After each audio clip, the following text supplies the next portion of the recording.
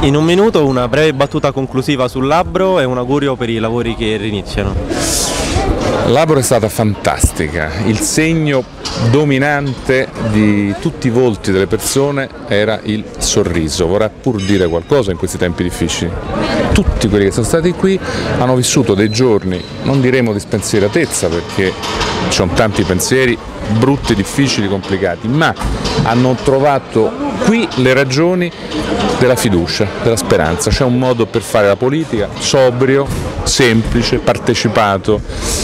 eh, di amore per la nostra terra, ecco, che forse anche altri dovrebbero raccogliere, non dico imitare.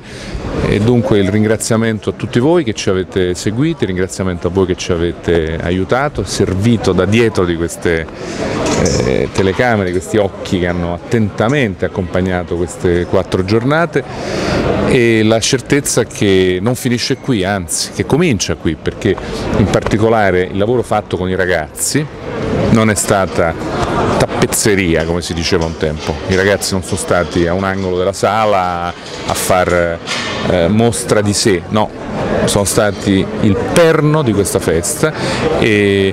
il lascito di una nuova classe dirigente che si occuperà dell'avvenire dell'Italia.